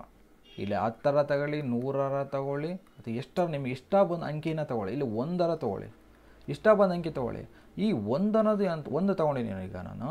ಈ ಒಂದನ್ನೋದು ಐದು ವರ್ಷದಲ್ಲಿ ಹನ್ನೊಂದು ಟೈಮ್ಸ್ ಆಗುತ್ತಂತೆ. ಅರ್ಥ ಆಗ್ತಿದೆಯಲ್ವಾ ಐದು ವರ್ಷಕ್ಕೆ ಹನ್ನೊಂದು ಟೈಮ್ಸ್ ಆಗುತ್ತಂತೆ. ಹಂಗಾದ್ರೆ ಎಷ್ಟು ವರ್ಷಕ್ಕೆ ಇಪ್ಪತ್ತೈದು ಟೈಮ್ಸ್ ಆಗುತ್ತೆ ಅಂತಂದೇಳಿ ಕೇಳ್ತಿದ್ದಾನೆ ಅವ್ನು ಕ್ವಶನ್ ಟೈಪ್ ತ್ರೀ ಇದು ಕ್ವಶನ್ ನೆನ್ಪಿಟ್ಕೊಳ್ಳಿ. ಐದು ವರ್ಷಕ್ಕೆ ಹನ್ನೊಂದು ಟೈಮ್ ಆಗ್ತಿದೆ, ಈ ಒಂದು ಅನ್ನೋದು. ಅದು ಎಷ್ಟು ವರ್ಷಕ್ಕೆ ಇಪ್ಪತ್ತೈದು ಟೈಮ್ ಆಗುತ್ತೆ ಅಂತಂದೇಳಿ ಕ್ವಶನ್ ಕೇಳ್ತಿದ್ದಾನೆ. ಈ ಟೈಮ್ಸ್ ಬಂದಾಗ ನಾನು ಏನು ಹೇಳಿದೆ? N minus one N minus one ಅಂತಂದು ಹೇಳಿದ್ದೆ. ಓಕೆ ಟೈಮ್ಸ್ ಹಂಗಾದರೆ ಫೈ ಟೈಮ್ಸ್ ಇರೋದೇನಾಯ್ತು ಎನ್ ಮೈನಸ್ ಒನ್ ಅಂದರೆ ಲೆವೆನ್ ಮೈನಸ್ ಒನ್ ಇಲ್ಲಿ question mark twenty five minus one ಇನ್ನು ಬಿಡಿಸಿ ಬರೆದ್ರೆ ಫೈ ಇದೇನಾಯಿತು ಟೆನ್ ಆಯಿತು. ಕೆಳಗಡೆ ಕ್ವಶನ್ ಮಾರ್ಕ್ ಇತ್ತು, ಇದೇನಾಯಿತು ಟ್ವೆಂಟಿ ಫೋರ್ ಆಯಿತು. ಇದನ್ನು ಓರೆ ಗುಣಾಕಾರ ಮಾಡಿ ನಿಮಗೆ ಕ್ವಶನ್ ಮಾರ್ಕ್ ಸಿಗುತ್ತೆ. ಕ್ವಶನ್ ಮಾರ್ಕ್ನಲ್ಲಿರೋ ಆನ್ಸರ್ ಸಿಗುತ್ತೆ. Okay five into twenty four divide by ten ಐದ ಒಂದೇ ಐದು ಎರಡೇ ಎರಡು ಒಂದೇ ಎರಡು, ಎರಡೆರಡಲೆ ನಾಲ್ಕು. Twenty four is the right answer ಈ ಕ್ವಶನ್ ಮಾರ್ಕ್ನಲ್ಲಿ ಎಷ್ಟು ಬರಬೇಕು? ಟ್ವೆಂಟಿ ಫೋರ್ ಸಾರಿ ಟ್ವೆಲ್ವ್ ಅಲ್ಲ? ಟ್ವೆಲ್ ಟ್ವೆಲ್ ಟ್ವೆಲ್ ಟ್ವೆಲ್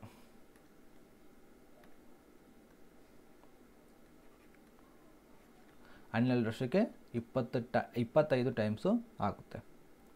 ಅಲ್ವಾ? ಇಪ್ಪತ್ತೈದು ಟೈಮ್ಸು ಆಗುತ್ತೆ. ಮತ್ತು ಇದರಲ್ಲಿ ಮತ್ತೆ ರೇಟನ್ನು ಕೊಟ್ಟು ಟೈಮ್ಸನ್ನು ಕೊಡ್ತಾನೆ ರೇಟನ್ನು ಕೊಟ್ಟು ಟೈಮ್ಸನ್ನು ಕೊಟ್ಟಿರ್ತಾನೆ ಸೇಮ್ ಫಾರ್ಮೆಟ್ ಹಾಕಬೇಕಾಗುತ್ತೆ. ಆ ಕ್ವಶನ್ಸ್ ಬಂದಾಗ ಹೇಳ್ತೀನಿ ಟೈಪ್ ತ್ರೀ ಅನ್ನೋದೊಂದು ನೆನ್ಪಿಟ್ಕೊಳ್ಳಿ ಸೇಮ್ ಫಾರ್ಮೆಟೇ ಇರುತ್ತೆ ಅದು ಕೂಡ. Okay same format okay next type of ಕ್ವಶನ್ಸ್ಗೆ ಹೋಗೋಣ.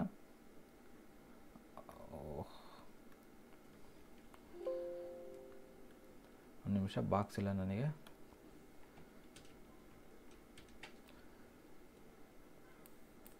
ಕ್ವಶನ್ಸ್ ಆಲ್ರೆಡಿ ರೆಡಿ ಇದ್ದಾವೆ ನಿನಗೆ ಸ್ವಲ್ಪ ಕಾನ್ಸೆಪ್ಟ್ ಹೇಳ್ತಿದ್ದೀನಿ ನಾನು.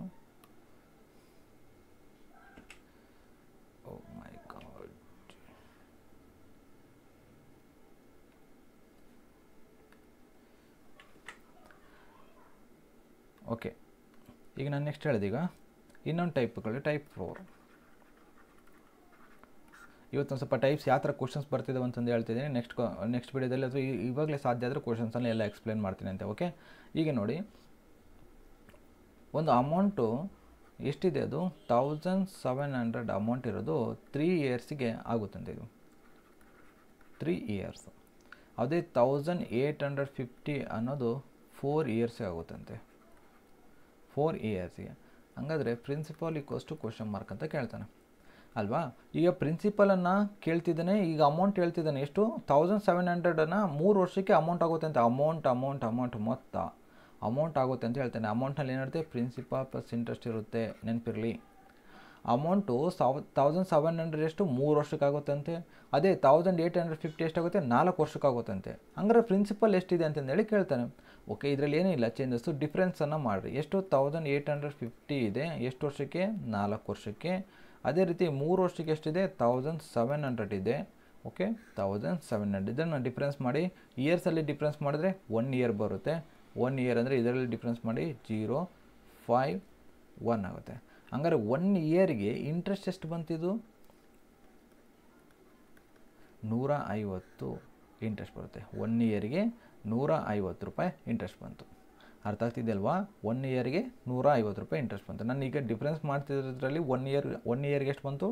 ನೂರ ಐವತ್ತು ರೂಪಾಯಿ ಇಂಟ್ರೆಸ್ಟ್ ಬಂದಂಗೆ ಆಯಿತು ಈಗ ನನಗೇನು ಬೇಕು? ಪ್ರಿನ್ಸಿಪಲ್ ಬೇಕು. ಒನ್ ಇಯರ್ಗೆ ನೂರ ಐವತ್ತು ರೂಪಾಯಿ ಇಂಟ್ರೆಸ್ಟ್ ಆದರೆ ಮೂರು ವರ್ಷಕ್ಕಾಲ ತೊಗೊಳ್ಳಿ, ನಾಲ್ಕು ವರ್ಷಕ್ಕಾರ ತೊಗೊಳ್ಳಿ. ಈಗ ಈಗ ನಾನು ಮೂರು ವರ್ಷಕ್ಕೆ ತಗೊತೀನಿ ಈಗ. ಈಗ ಮೂರು ವರ್ಷಕ್ಕೆ ಎಷ್ಟಾಗುತ್ತೆ ಇಂಟ್ರೆಸ್ಟು ನೂರ ಐವತ್ತು ಹದಿನೈದು ಮೂರಲೇ ನಲವತ್ತೈದು ನಾನ್ನೂರ ಐವತ್ತು ರೂಪಾಯಿ. ನಾನ್ನೂರ ಐವತ್ತು ರೂಪಾಯಿ ಏನಾಯ್ತು? ಇಂಟ್ರೆಸ್ಟ್ ಬಂತು ಎಷ್ಟು ವರ್ಷಕ್ಕೆ? ಮೂರು ವರ್ಷಕ್ಕೆ. ಇದರಲ್ಲಿ ಏನಾಗಿರ್ತಾಳೆ? ಮೂರು ವರ್ಷಕ್ಕೆ ಅಮೌಂಟ್ ಇದೆ thousand seven hundred thousand seven ಹಂಡ್ರೆಡ್ನಲ್ಲಿ four ಫಿಫ್ಟಿಯನ್ನು ಮೈನಸ್ ಮಾಡಿದರೆ ಮೈನಸ್ ಫೋರ್ ಫಿಫ್ಟಿ ಏನಿದು? Interest for three year interest ನೆನ್ಪಿಟ್ಕೊಳ್ಳಿ ತ್ರೀ ಇಯರ್ ಇಂಟ್ರೆಸ್ಟನ್ನು ಮೈನಸ್ ಮಾಡಿದರೆ ನಮಗೆ ಪ್ರಿನ್ಸಿಪಲ್ ಇದೇ, ಸಿಗುತ್ತೆ. ಓಕೆ ಜೀರೋಗೆ ಜೀರೋ ಇಲ್ಲಿ ಜೀರೋ ಇದೆ ಅಂದರೆ ಒಂದು ದಸ್ಕ ತಗೊಂಡಿವಿ, ಹತ್ತಾಗುತ್ತೆ, ಹತ್ತರಲ್ಲಿ ಐದು ಇದ್ದರೆ ಐದು. ಇಲ್ಲಿ ಒಂದು ದಸ್ಕ ತೊಗೊಂಡಿರೋದ್ರಿಂದ ಆರು ಇರುತ್ತೆ, ಆರನ್ನು ಹಾಕಿದ್ರೆ ಎರಡು. ಒಂದಕ್ಕೆ ಒಂದು. ಹಂಗಾದರೆ ಪ್ರಿನ್ಸಿಪಲ್ ಎಷ್ಟು ಸಿಕ್ತು? Thousand two hundred and fifty thousand two hundred and fifty okay ನನಗೆ ಪ್ರಿನ್ಸಿಪಲ್ ಕಂಡುಹಿಡ್ದಿದ್ದೀನಿ. ಈಗ ರೇಟನ್ನು ಕೂಡ ಕೇಳಿದರೆ ರೇಟನ್ನು ಕೇಳಿದರೆ ಈಗ ಇಂಟ್ರೆಸ್ಟ್ ಎಷ್ಟು ಪ್ರಿನ್ಸಿಪಲ್ ಎಷ್ಟು ಬಂದಿದೆ? ತೌಸಂಡ್ ಟೂ ಫಿಫ್ಟಿ ಇಂಟ್ರೆಸ್ಟ್ ಎಷ್ಟಿದೆ? ಒಂದು ಒಂದು ವರ್ಷಕ್ಕೆ ನೂರ ಐವತ್ತು ರೂಪಾಯಿ. ತೌಸಂಡ್ ಓಕೆ ಸಾವಿರದ ಇನ್ನೂರ ಐವತ್ತು ರೂಪಾಯಿಗೆ ನೂರ ಐವತ್ತು ರೂಪಾಯಿ ಇಂಟ್ರೆಸ್ಟ್ ಅಂತ ಹೇಳ್ತಿದ್ದೆ ನಾವು ಹಂಗಾದರೆ ನೂರಕ್ಕೆ ಎಷ್ಟು ಅಲ್ವಾ? ಈ ಜೀರೋಗೆ, ಈ ಜೀರೋ ಕ್ಯಾನ್ಸಲು ಐದು ಮೂರಲೆ ಹದಿನೈದು. ಓಕೆ ಐದರಲ್ಲಿ ಹತ್ತು, ಐದು ಐದಲೆ ಇಪ್ಪತ್ತೈದು. ಓಕೆ ಇಪ್ಪತ್ತೈದು ನಾಲ್ಕಲೆ ನೂರು. ಓಕೆ ನಾಲ್ಕು ಮೂರಲೆ ಹನ್ನೆರಡು. ಹನ್ನೆರಡು ಪರ್ಸೆಂಟು ಅರ್ಥ ಆಗ್ತಿದೆಯಲ್ವಾ ಪ್ರಿನ್ಸಿಪಲ್ ಕೊಟ್ಟಿದ್ದಾನೆ ಇಂಟ್ರೆಸ್ಟು ಕೊಟ್ಟಿದ್ದಾನೆ ಇಂಟ್ರೆಸ್ಟ್ ರೇಟನ್ನು ಕೇಳ್ತಿದ್ದಾನೆ, ಆರು ಆರು ಪರ್ಸೆಂಟ್ ಇಲ್ಲಿ ಸಿಂಪಲ್ ಇಂಟ್ರೆಸ್ಟ್ ಸಿಕ್ಕಂಗಾಯ್ತಲ್ವ ನಮಗೆ? ಸಿಂಪಲ್ ಇಂಟ್ರೆಸ್ಟ್ ಸಿಕ್ಕಂಗಾಗಿದೆ simple interest ಸಿಕ್ಕಷ್ಟು one fifty per year per year okay ನಿಮಗೆ ಪ್ರಿನ್ಸಿಪಲ್ ಸಿಕ್ತು ರೇಟು ಸಿಕ್ತು ಸಿಂಪಲ್ ಇಂಟ್ರೆಸ್ಟ್ ಸಿಕ್ತು. ಅರ್ಥ ಆಗ್ತಿದೆಯಲ್ಲ ಈಗ ನಿಮಗೆ ನಾಲ್ಕು ವರ್ಷದ ಇಂಟ್ರೆಸ್ಟ್ ಕೇಳಿದರೆ ಇಂಟು ನಾಲ್ಕು ಮಾಡ್ತೀರಾ? ಮೂರು ವರ್ಷದ ಇಂಟ್ರೆಸ್ಟ್ ಕೇಳಿದರೆ ಇಂಟು ಮೂರು ಮಾಡ್ತೀರಾ? ಯಾವುದರಲ್ಲಿ ಬಂದರು ಇಂಟ್ರೆಸ್ಟ್ನಲ್ಲಿ ಈಗ ವೆರೈಟಿ ಸಿಕ್ಕಿದೆ ಪ್ರಿನ್ಸಿಪಲ್ ಸಿಕ್ಕಿದೆ. ಇದು type four of questions okay ಈ ಥರ ಕ್ವಶನ್ಸನ್ನು ಕೂಡ ಕೇಳ್ತಾನೆ. ಈ ಥರ ಕ್ವಶನ್ಸನ್ನು ಕೊಟ್ಟು ಇಲ್ಲ ಪ್ರಿನ್ಸಿಪಾಲರ ಕೇಳ್ಬೋದು, ಇಲ್ಲ ರೇಟರ ಕೇಳ್ಬೋದು. ಓಕೆ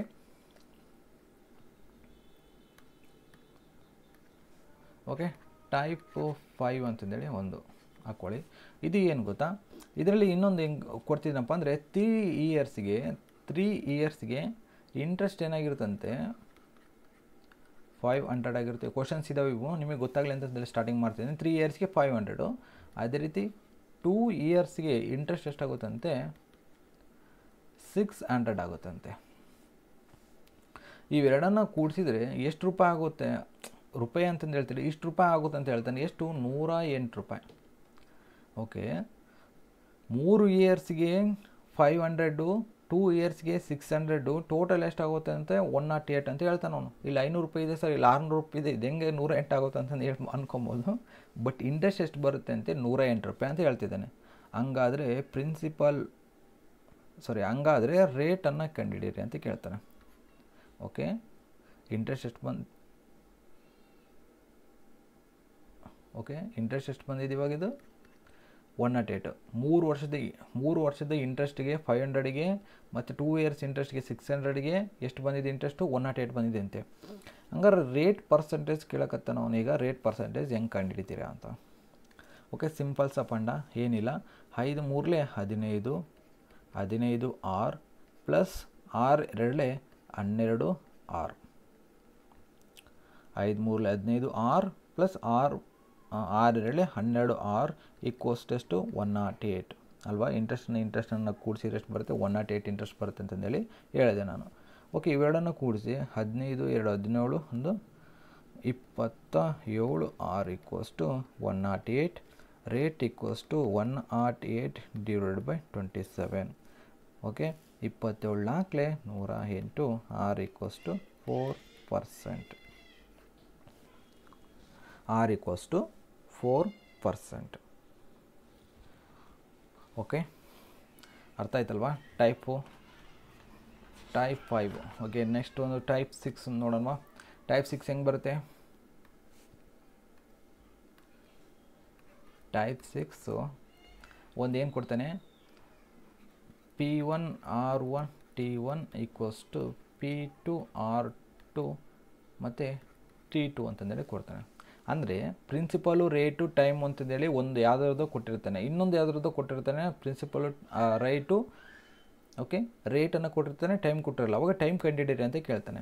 ಈಗ ನೀನು ಅದನ್ನೇ ಒಂದು ಒಂದು ಹಾಕೊಳ್ಳೋಣ. ಪಿ ಒನ್ ಏನು ಹಾಕೊಳ್ಳೋಣ? ಒಂದು ಟು ಪಿ ಒನ್ ಎಷ್ಟು? Six thousand six thousand okay time ಎಷ್ಟು ಕೊಟ್ಟಿದ್ದಾನೆ? ಈಗ ಟೂ ಇಯರ್ಸ್ ಅಂದ್ಕೊಳ್ಳೋಣ ಟೂ ಇಯರ್ಸ್ ಟೈಮು ರೇಟನ್ನು ಕೊಟ್ಟಿಲ್ಲ ಈಗ. ಒಂದ್ರದ್ದು ಕೊಟ್ಟಿಲ್ಲ, ಒಂದ್ರದ್ದು ಕೊಟ್ಟಿರ್ತಾನೆ. ಓಕೆ ಇನ್ನೊಂದ್ರದ್ದು ಏನು ಹೇಳಕತ್ತಾನೆ three three years time rate ಎಷ್ಟು ಕೊಟ್ಟಿದ್ದಾನೆ? ಏಯ್ಟ್ ಪರ್ಸೆಂಟು ಇಂಟು ಪ್ರಿನ್ಸಿಪಲ್ ಎಷ್ಟು ಕೊಟ್ಟಿದ್ದಾನೆ? ಫೋರ್ ತೌಸಂಡು ಓಕೆ ಈಗ ನೋಡಿ, ಇಲ್ಲಿಂದ ಈ ಕಡೆ ಆಪೋಸಿಟ್ ಇದ್ದರೆ ಯಾವಾಗಲೂ ಭಾಗ ಮಾಡ್ಬೋದಲ್ವ ನಾವು? ಆಪೋಸಿಟ್ ಇದ್ದರೆ ಭಾಗ ಮಾಡೋದು ಈಗ ಇಲ್ಲಾಂದರೆ R equals to four thousand into eight into three divided by ಇವೆರಡನ್ನು ಹಾಕಿ ಸಿಕ್ಸ್ ತೌಸಂಡ್ ಇಂಟು ಟು ಅವಾಗ ರೇಟ್ ಸಿಗುತ್ತೆ. ಈ ತ್ರೀ ಜೀರೋಗೆ ಈ ತ್ರೀ ಜೀರೋ ಕ್ಯಾನ್ಸಲ್ ಆಯಿತು. ಮೂರು ಒಂದಲೇ, ಮೂರು ಎರಡಲೆ. ಓಕೆ ಎರಡು ಎರಡಲೆ ನಾಲ್ಕು, ಈ ನಾಲ್ಕಕ್ಕೆ ಈ ನಾಲ್ಕು ಕ್ಯಾನ್ಸಲ್ ಆಯಿತು. ರೇಟ್ ಇಕೋಸ್ಟ್ ಎಷ್ಟು ಬರುತ್ತೆ. ಏಯ್ಟ್ ಪರ್ಸೆಂಟ್ ಮೂರು ಎರಡಲೆ ಆರಲ್ವಾ ತ್ರೀ ಪರ್ಸೆಂಟ್ ತಗೊಂಡಿದ್ದೀನಿ. ಕರೆಕ್ಟ್ ಇದೆ. ತ್ರಿಬಲ್ ಜೀರೋ ತ್ರಿಬಲ್ ಜೀರೋ ಮೂರು ಎರಡಲೆ ಆರು.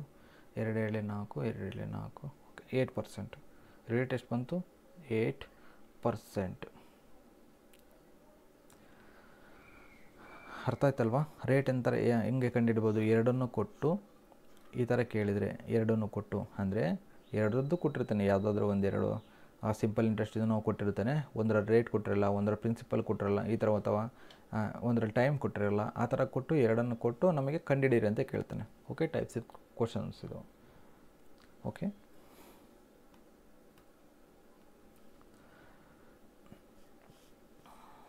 ಇನ್ನೊಂದು ಎಲಿಗೇಷನ್ ಅಂತಂದೇಳಿ ಒಂದು ಬರುತ್ತೆ. Okay alligation method. R J C M junior satisfactory method J sorry J S M juniors satisfactory method ಅಂತಂದೇಳಿ ಬರುತ್ತೆ. ಒಂದು ಎಲಿಗೇಷನ್ ಇನ್ನೊಂದು ಜೂನಿಯರ್ ಸ್ಯಾಟಿಸ್ಫ್ಯಾಕ್ಟರಿ ಮೆಥಡ್ ಇವೆರಡಕ್ಕೂ ಕೂಡ ಒಂದೇ ಕಾಂಬಿನೇಷನು ನಾವು ಎರಡು ಥರ ಡಿಫ್ರೆಂಟ್ ಟೈಪ್ಸ್ ಆಫ್ ಮಾಡ್ತೀವಿ. ಡಿಫ್ರೆಂಟ್ ಟೈಪಲ್ಲಿ ಆನ್ಸರನ್ನು ಮಾಡ್ತೀವಿ ಕ್ವಶನ್ಗೆ ಬಟ್ ಎರಡರಿಂದನೂ ಕೂಡ ಒಂದೇ ಆನ್ಸರ್ ಬರುತ್ತೆ. ಎರಡರಿಂದ ಕೂಡ ಏನು ಬರುತ್ತೆ? ಒಂದೇ ಆನ್ಸರ್ ಬರುತ್ತೆ. ಈಗ ನೋಡಿ, ಒಂದು ಕ್ವಶನ್ಸನ್ನು ತೊಗೊತೀನಿ ನಾನು ಈಗೇನಂತಂದರೆ, ಒಬ್ಬನು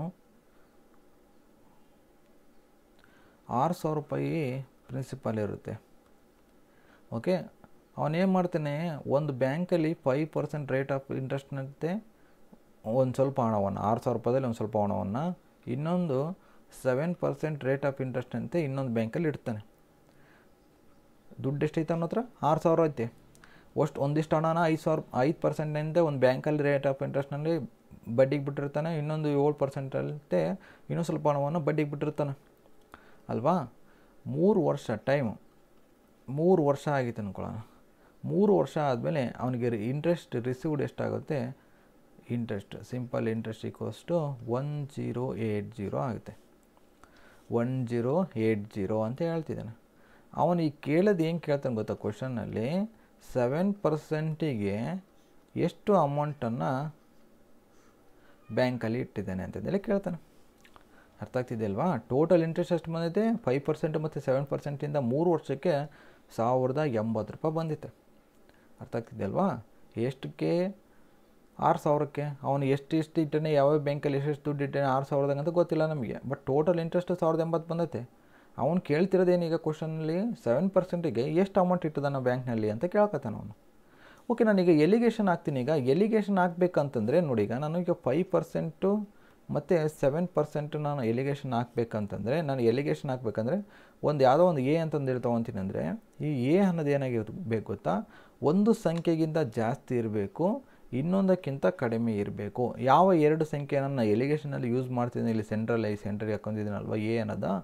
ಒಂದು ಸಂಖ್ಯೆಗಿಂತ ಜಾಸ್ತಿ ಇರಬೇಕು, ಇನ್ನೊಂದು ಸಂಖ್ಯೆಗಿಂತ ಕಡಿಮೆ ಇರಬೇಕು. ಮತ್ತು, ಈಗ ಪರ್ಸೆಂಟೇಜ್ನಲ್ಲಿ ಇದೆಯಲ್ಲ, ಇದು ಪರ್ಸೆಂಟೇಜ್ನಲ್ಲಿ ಇದು ಕೂಡ ಅದೇ ಫಾರ್ಮೆಟಲ್ಲೇ ಇರಬೇಕು ಫಾರ್ಮೆಟ್ ಸೇಮ್ ಇರಬೇಕು. ಓಕೆ? ಫಾರ್ಮೆಟು ಸೇಮ್ ಇರಬೇಕು. ಅರ್ಥ ಆಗ್ತಿದ್ದಲ್ವಾ ಎಲಿಗೇಷನ್ ರೂಲೇ ಇದು. ಎರಡೇ ಪಾಯಿಂಟು. ಏನು? ಒಂದಕ್ಕಿಂತ ಜಂಗ್ ಒಂದು ಯಾವ್ದಾರು ಎರಡು ಎಲಿಗೇಷನ್ ನೋಡಬೇಕು. ಎರಡಕ್ಕೆ ಮಾತ್ರ ಎಲಿಗೇಷನ್ ಹಾಕಕ್ಕೆ ಬರುತ್ತೆ, ಮೂರಕ್ಕೆ ಬರಲ್ಲ. ಓಕೆ? ಈಗ ನೋಡಿ, ಈಗ ಐದು ಪರ್ಸೆಂಟ್, ಏಳು ಪರ್ಸೆಂಟಿಗೆ ನಾನು ಎಲಿಗೇಷನ್ ಹಾಕಬೇಕಂದ್ರೆ ಒಂದು ಸಂಖ್ಯೆಗಿಂತ ಜಾಸ್ತಿ ಇರಬೇಕು. ಓಕೆ? ಈಗ ಯಾವ ಚಿಕ್ಕ ಸಂಖ್ಯೆ ಅದು ಐದು ಇರ್ತಾನೆ ಈ ಸಂಖ್ಯೆಗಿಂತ ಜಾಸ್ತಿ ಇರಬೇಕು, ದೊಡ್ಡ ಸಂಖ್ಯೆ ಅದು ಏಳಕ್ಕಿಂತ ಕಡಿಮೆ ಇರಬೇಕು. ಹಂಗಾದರೆ ಎಲಿಗೇಷನ್ ಹಾಕ್ಲಿಕ್ಕೆ ಬರುತ್ತೆ. ಮತ್ತು ಪರ್ಸಂಟೇಜ್ನಲ್ಲಿ ನಾನು ಕೇಳಿದ್ದೀನಂದರೆ ಪರ್ಸಂಟೇಜ್ನಲ್ಲೇ ಬರುತ್ತೆ. ಅರ್ಥ ಆಯ್ತಲ್ವಾ? ಈಗ ನೋಡಿ ಪರ್ಸಂಟೇಜ್ ಕೇಳಿಲ್ಲ ನಾನು ಸಂಖ್ಯೆಗಳೇ ಕೇಳ್ತಿದ್ದೀನಿ ಈಗ. ಹತ್ತು ಒಂದು ಸಂಖ್ಯೆ ಐತೆ, ಒಂದು ಇಪ್ಪತ್ತೊಂದು ಸಂಖ್ಯೆ ಐತೆ, ನಾನು ಒಂದು ಎಲಿಗೇಷನ್ ಹಾಕ್ಬೇಕು, ಇಲ್ಲಿ ಯಾವುದೋ ಒಂದು ಎ ಅನ್ನೋದನ್ನ ಈ ಸಂಖ್ಯೆ ಚಿಕ್ಕ ಸಂಖ್ಯೆಗಿಂತ ಜಾಸ್ತಿ ಇರಬೇಕು, ದೊಡ್ಡ ಸಂಖ್ಯೆಗಿಂತ ಕಡಿಮೆ ಇರಬೇಕು ಈ ಎ ಎಂಬ ಸಂಖ್ಯೆ. ಮತ್ತು ಇದು ಏನಾಗಿರಬೇಕು ಸೇಮ್ ಆಗಿರಬೇಕು. ಇಲ್ಲಿ ನಾನು ಟೆನ್ ಟ್ವೆಂಟಿ ಹಾಕಿದ್ದೀನಿ, ಇಲ್ಲಿ ಫೈವ್ ಪಾಯಿಂಟ್ ಫೈವ್ ಹಾಕ್ತಂತ ನಂಗಿಲ್ಲ. ಓಕೆ ಸೇಮ್ ಆಗಿರ್ಬೇಕು. ಈ ಥರ ಇದ್ದಾಗ ಕೂಡ ನಾನು ಏನು ಮಾಡ್ಬೇಕಂತಂದೇಳಿ ಬಂದ್ರೆ ಬ ಕ್ವಶನ್ ಬಂದಾಗ ಹೇಳ್ತೀನಿ ಅಂತ. ಈ ಪಾಯಿಂಟನ್ನು ತೆಗಿಬೇಕಂದ್ರೆ ಇಲ್ಲಿ ಡಬಲ್ ಜೀರೋ ಹಾಕ್ಬೇಕು ಇಲ್ಲೊಂದು ಜೀರೋ ಇಲ್ಲೊಂದು ಜೀರೋ ಪಾಯಿಂಟನ್ನು ತೆಗಿಬೇಕಂದ್ರೆ. ಅರ್ಥ ಆಯ್ತಲ್ವಾ? ಪಾಯಿಂಟನ್ನು ತೆಗಿಬೇಕಂದ್ರೆ ಇಲ್ಲೊಂದು ಜೀರೋ ಇಲ್ಲೊಂದು ಜೀರೋ ಹಾಕಿ, ಹಾಕಿದರೆ ಬರುತ್ತದು ಓಕೆ ಇದು ಎಲಿಗೇಷನ್ ರೂಲು ಎಲಿಗೇಷನ್ ಬಂದಾಗ ಕ್ಲಿಯರಾಗಿ ಹೇಳ್ಕೊಡ್ತೀನಿ. ಜಸ್ಟ್ ಇಲ್ಲಿಗೆ ಏನು ಬೇಕೋ ಅಷ್ಟನ್ನು ಕಲಿಸ್ತಿದ್ದೀನಿ ಬಟ್ ನೀವು ಎಲಿಗೇಷನ್ ಹೆಂಗೆ ಹಾಕ್ಬೇಕಂತಂದೇಳಿ ಗೊತ್ತಿರಬೇಕಷ್ಟೆ. ಓಕೆ ಈ ಎಲಿಗೇಷನ್ ಗೊತ್ತಾಯ್ತಲ್ವಾ? ಒಂದು ಸಂಖ್ಯೆಗಿಂತ ಜಾಸ್ತಿ ಇರಬೇಕು, ಇನ್ನೊಂದು ಸಂಖ್ಯೆಗಿಂತ ಕಡಿಮೆ ಇರಬೇಕು. ಮತ್ತು ಸೇಮ್ ಫಾರ್ಮೆಟಲ್ಲಿ ಇರಬೇಕು. ಈಗ ನಾನು ಸೆವೆನ್ ಪರ್ಸೆಂಟು ಫೈವ್ ಪರ್ಸೆಂಟ್ ಅಂತ ಹೇಳಿ ತೊಗೊಳ್ತಿದ್ದೀನಿ ಈಗ ಎಲಿಗೇಷನ್ ಹಾಕ್ತೀನಿ ನೋಡಿ ಎಲಿಗೇಷನ್ ಫಸ್ಟ್ ಮಾಡ್ತಿದ್ದೀನಿ.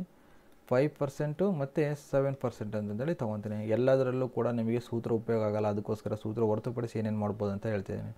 ಓಕೆ ಫೈವ್ ಪರ್ಸೆಂಟು ಮತ್ತು ಸೆವೆನ್ ಪರ್ಸೆಂಟು ಈಗ ಒನ್ ಸಾವಿರದ ಎಂಬತ್ತೈತಲ್ಲಪ್ಪ ಎಷ್ಟು ವರ್ಷಕ್ಕೆ ಇದು? ಮೂರು ವರ್ಷಕ್ಕೆ. ಡಿವೈಡೆಡ್ ಬೈ ಮೂರು ಮಾಡು.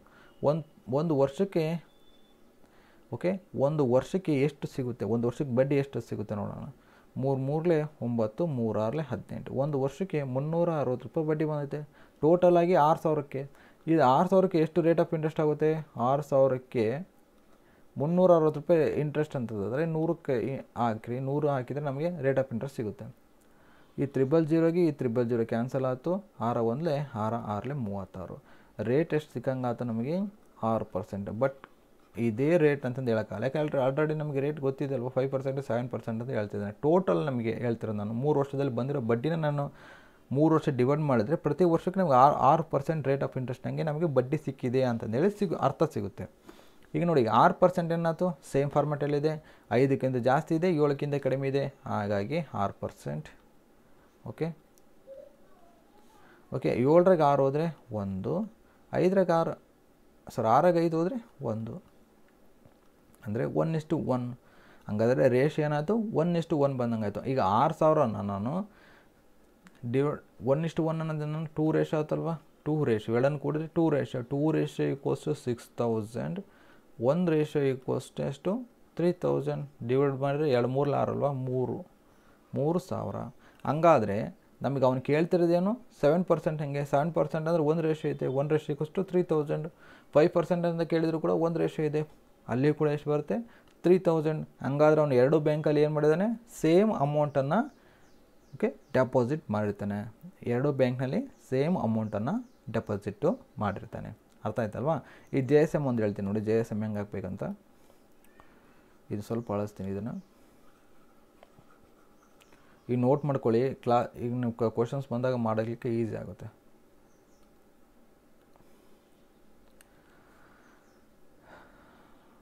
ಈಗ ನನಗೆ ಫೈವ್ ಪರ್ಸೆಂಟ್ ಒಂದು ರೇಟ್ ಆಫ್ ಇಂಟ್ರೆಸ್ಟ್ ಇದೆ, ಮತ್ತು ಒಂದು seven percent rate of interest ಇದೆ.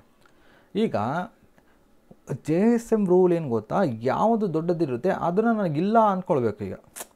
ಯಾವುದಿದೆ ಇಲ್ಲಿ? ಸೆವೆನ್ ಪರ್ಸೆಂಟ್ ಇದೆ. ಓಕೆ ನನಗೆ ಸೆವೆನ್ ಪರ್ಸೆಂಟ್ ಇಲ್ಲಪ್ಪ, ನನಗೆ ಐದು ಪರ್ಸೆಂಟ್ ಇದೆ ಇಲ್ಲ ಅಂದ್ಕೊಳ್ಳೋಣ ಇಲ್ಲೂ ಐದಿದೆ ಇಲ್ಲೂ ಐದಿದೆ. ಈಗ ನಾನು ಸೆವೆನ್ ಪರ್ಸೆಂಟ್ ಇಲ್ಲ, ಐದು ಪರ್ಸೆಂಟ್ ಇದೆ ಅನ್ಕೊತಿದ್ದೀನಿ ಈಗ. ಅರ್ಥ ಆಗ್ತಿದೆ ಅಲ್ವಾ?